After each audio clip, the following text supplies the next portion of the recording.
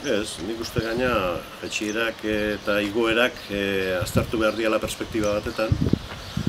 Eta garai e, zail batetikan, guztiontza zaila zatikan, beste beste indarkeriaren presentzia tarteko, e, ilegalizazioak e, baita ere tarteko, nik uste mapa era bat fortzautak zela garai batetan.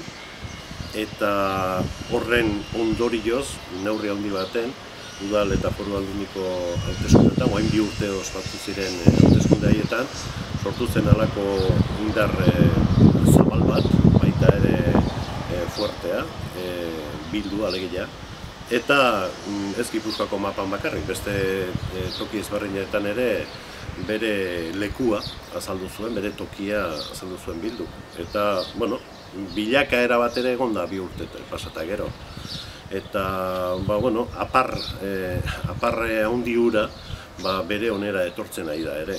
Nik garbi ikusten du soziologikoki Gipuzkoa dauk jonez, bere garaian e, Eusko Alderri Jantzalearen zatik aurretik e, Eusko Alderri Jantzaleak ordezkatze zuen e, abertzaletasun e, zati hori e, Gipuzkoako zatirik nagusiena zen eta da e, ze gertatzen da, ondorioz eta bueno, zatiketak eta gero bakoitzak e, ba, lerrokatzeko beste erabaki batzuk e, hartu izan dituzte, ea galegila momentu honetan bildun e, sartuta dago, da Euskal Herria bildun ere, baina bueno, Euskal Herria bilduk e, geroz da ezaugarri nabarmenagoa ditu, geroz da ez, e, ezkerra bertzaleagoa da, eta hor ikusten da sortu den gidaritza.